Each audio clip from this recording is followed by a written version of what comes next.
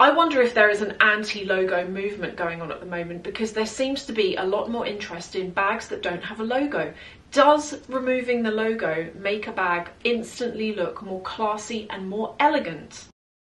Hey everyone, welcome to another video. I want to talk about this. I think it's slow moving at the moment, but I'm noticing that in the luxury community there is more of a growing interest in bags that don't have a logo, but also bags that are um, less expensive. And I massively think that the state of the economy globally has got a huge part to play in this. A lot of us are spending less, like I've said to you before, I, I do still buy bags, but they're bags that are like a thousand pounds and under. Um, I, like I love Coach. The economy has made my love for Coach even bigger than it kind of was before because I love that you can go and spend money and buy something that's actually quality and you get a lot for your money and it's not break the bank. But I have got here um, about five bags I'm going to show you. They are logoless and I really feel like with them they are classy, they're elegant.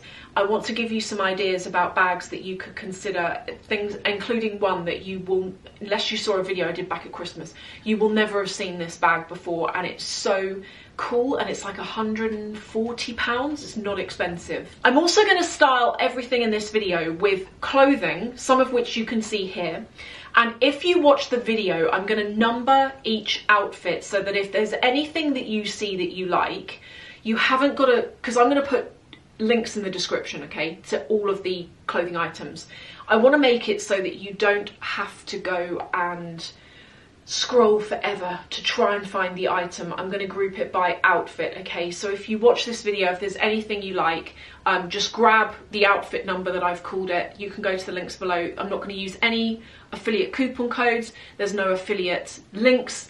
Um, so if you click, if you shop, if you buy, I don't profit from any of this. All of the clothes are from a brand called Goelia. And I'm not sure how many of you have heard of the brand, but they've been going since 1995. And they have an ethos that I really like.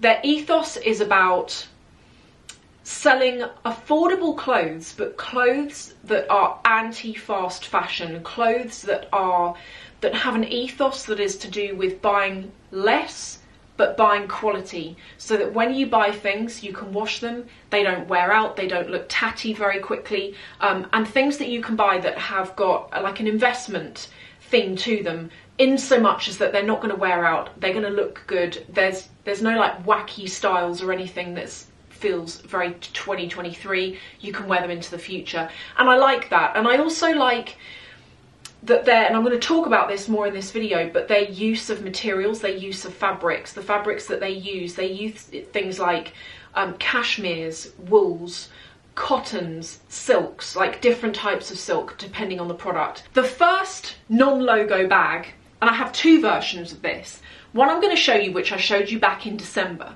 and I don't know how many of you saw that video, but for any of you who didn't, this might be something that you are interested in.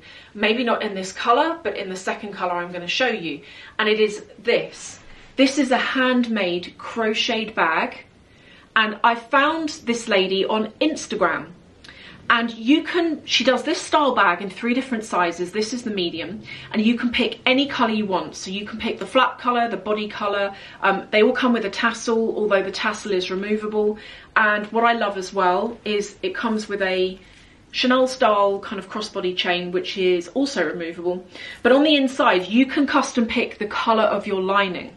And when you order she sends you an email and it kind of is like, oh, what colour do you want your lining? And she confirms the colours that you want the bags, and um, you can pick. And she must have like 20 or 30 or something crazy different lining cover, uh, colours and patterns to choose from. I feel the need to talk to you in a little bit more detail about this dress.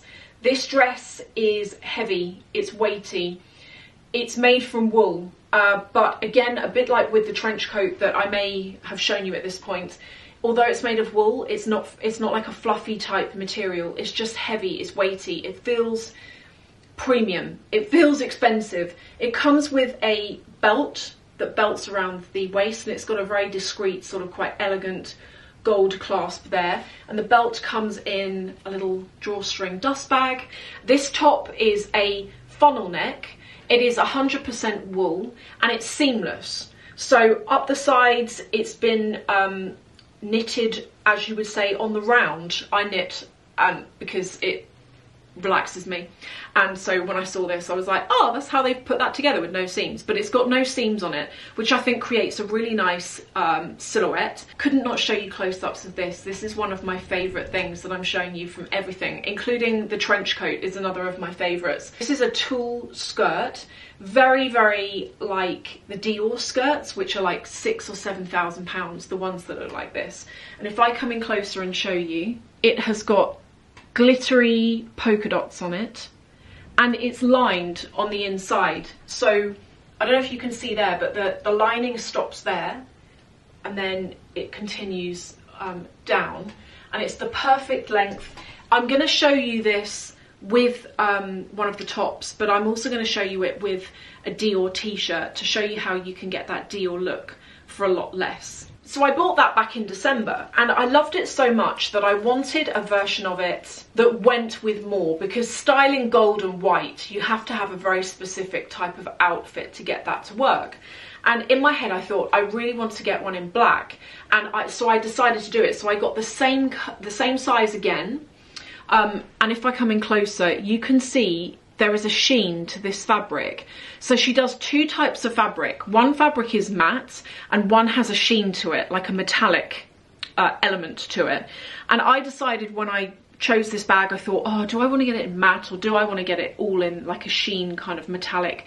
And I thought this was quite good because I like the way the sheen brings out the crochet. You can really see that on there. And this was about well it was originally 140 but because I bought the gold and white version she'd given me a 10% off coupon um, which I ended up using towards it. So it ended up being about 125 120 something like that. Yeah 125 and you know considering that she hand makes them it actually turned up pretty quickly and everything's packaged really nicely. So go check her out on Instagram if you're interested. The next that I'm going to show you is a bag which I highly recommend if you want something that is designer but you don't want a massive logo on it and it is this bag. This is from Fendi and it does have a logo but it's very discreet. If I come in closer and show you, the logo is just there on the clasp that opens and closes the bag.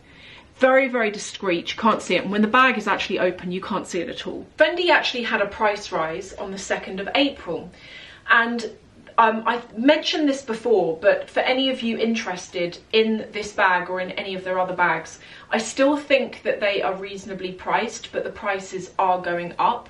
And so I would say that if you've been thinking about getting one of these bags, if you're in a financial position to do so, think about doing it because the prices are only going one way. I do feel that with Fendi, their price rises, they happen, they seem to happen a lot less than with other brands. Um, and as I say, I still think that their bags are well priced considering what you get for the money. This was around about, I don't even think it was quite 3,000. You know, from memory, I think it was the top end of the 2,000s. And when I found out how much it was, I was surprised based on how much bag you get for your money. You can fit a really good amount in here. I love the way it looks. I like that the more you use it, the slouchier the leather gets. Um, I'm trying to get mine to go like that at the moment because mine's still because I really look after my stuff. Mine's still quite new, but I'm trying to get it to kind of loosen up a bit. Now there are two trench coats in this video. One is uh, short, cropped, and one is longer. This is the longer one, and this is made from wool. Again, a really heavy material. Um, I love the way it flows. Although it's wool, it's got like a floatiness to it. So it's warm, but it's not like... Um, when I say wool, you would imagine like a fluffy material. It's not. It's not that at all. If I come in closer and give you a give you a view, if you're familiar with um, if you're familiar with the Burberry trench coats, feels pretty much the same as one of those actually. The next that I have to tell you about is from Launer and I purchased this bag last year um, September, but I didn't actually get it until December because with all of their bags, all of their bags are custom made to order. And when you order, you go on the website and it's not a case of like you pick the bag in the picture and they post it to you. You choose the bag shape and size that you like and then you can customize all aspects of it so you can pick the color of the sides the body the flap and the handle as well as you can pick the color of the lining. And on this I've gone for the pink suede uh, on the lining. And on the side this color is called icing pink from memory. Pretty sure that's right. Yes icing pink. Now this does have a logo on it but that logo the logo I feel is one of those that if you know you know. If you don't you don't. It's not kind of like having Dior written across it or the double C's where it's really obvious what that is. If I come in closer and give you some close-ups of this, this dress is absolutely beautiful. I'm gonna, as I say, I'm gonna come in close and show you some close-ups. It's made from a tulle type material and the neckline, like a lacy kind of thing, the neckline is gorgeous. If I just do this up, because I've had it, because um, I was trying it on, it's undone. And so what this is, is the outside is made of lace and then the actual dress on the inside is like a mauvey colour and it's like a slip dress which is stitched inside the actual uh, garment itself. This I paid around about £2,090 for, but now it's more than that. Can't remember how much off the top of my head. I will put the price in here of how much it is now in this size. So this bag is called the Traviata bag, and it kind of does remind me in a way of the Hermes Kelly bag. And I love that you can custom order whatever you like. I also like, uh, another thing to quickly mention is that with the Launer bags you get a mirror that has the logo on the back and there's the mirror there and I, I really like that. I think that's a really nice touch. This shirt, I'm gonna come in closer for most of this because with these clothing items they have so many little details on them that you can't see when I'm stood far away. So with these items, as I say, I'm going to come in closer and show you. But this is the most beautiful blouse. I really love the long lapels on it. And the material is a heavyweight material. With everything that I'm showing you, everything feels weighty. Everything feels heavy. Um, even the items that are made out of lace, they've all got a weight behind them. Nothing feels flimsy, nothing feels cheap. Um, this also has this really nice um, kind of pleating on the arms, as you can see there. So like that pleating that goes through. And this is made from an acetate uh, mix material. It doesn't have a stretch to it, but you wouldn't want it to. Um, and with all of this, I've taken my regular size, so I've, I've taken a UK size 10 in everything. Now for the final bag, one that I've shown you before, but I don't think I've shown you it for a little while. And it's one of my favorites. It's one that I use a lot. And it is this which it this is a quirky design okay? There are going to be some of you who are like what is that? That's weird. It's meant to look like a croissant. And the style name of the bag this is from Senreve and the style name of the bag is um oh what's it called now cornetti and cornetti apparently is Italian for croissant. It has got pockets on it so on the front it's got a pocket there which goes all the way over to here and it has the same thing again on the other side a zip pocket which goes all the way over to there. It opens, the chain handle I'm going to come on to that because that didn't come with the bag. The bag opens like this so it's almost got like a wire frame and then it snaps back closed again. It did come with a crossbody strap like chain handle but the chain was very dainty and I don't even know where that chain is now. Do you know that? I'm not sure what I've done with it. But the chain was very da dainty and I didn't love the chain and I thought this bag needs a chunkier strap handle. And I knew that you could get these on Etsy, these like Bottega style um, handles. So I ordered one. It wasn't even more than 30 pounds, you know, it was something like that. And I clipped it on the bag. And as soon as I did that, that was when I kind of thought, yeah, that's what this bag needed the whole time. But I think if you want something that doesn't have a logo that's more trend, then this is a good one to go with. It's not it's not necessarily a classic, uh, it's not a classic shape, it's very much like stylized. But if you do want something like the Balenciaga uh, pouch bag, you know they've got one which is very, very similar. If you want something like that, but you don't want to spend that money, this it was well under a thousand pounds, like well under. I don't know how much it is now. It's also made of cactus leather, and you wouldn't know. It feels like natural leather. I don't know how they've quite managed that, but that is a really good bag as well. Just to jump in here and talk about this and the trousers which I'm wearing. This top is knitted. So I'm going to show you some close-ups here if I come in closer and show you It has got a stretch knit to it. It is incredibly soft. I've also washed, I've made a point of washing the items that I'm showing you because I wanted to be able to come to you and not be wearing something brand new that's never been washed and be like, wow, doesn't it look amazing? I wanted to be able to show you something that's been washed before. This I have washed as well as another top I'm going to show you and a shirt. And I just wash everything at 30 degrees with light colours, so like lighter colours.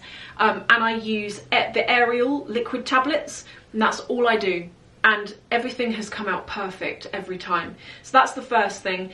These are the trousers and the trousers are like a suit material. They're a thick, thick material. They also contain 7% elastane. So they're not really, really stretchy, but they do have a stretch to them.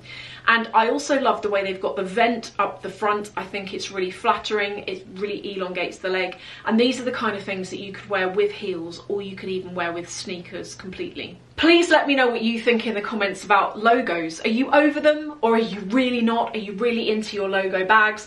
I have to say I like a logo, but I, oh, I was going to tell you where I'm using my non-logo bags. So I've found that I'm using them a lot when I go and get groceries or go and get petrol or do something locally that I don't really want to carry a big designer bag for. And I'm reaching for these so often now, even when I go out for like a walk or something and I need a bag with me, I'm reaching for these bags. I'm not reaching for the bags that have got the big logos on. And actually, things like I've got some classic flap bags which I'm really really pleased that I bought back when I did before they got really expensive um, they were expensive at the time, but not like now. Like now they're really, really expensive. And because they are so expensive now, it almost puts me off wearing them because I don't want to ruin them. I don't want them to, like, I don't want to be a target for a thief. And so it almost puts me off using them. And I, but I love them and I love looking at them on like my bag shelf and they, they do make me smile. I do like my bags. Um, but yeah, it kind of has put me off slightly using those bags. But let me know how you feel about all of this. Thank you so much for watching and I'll see you in the next video.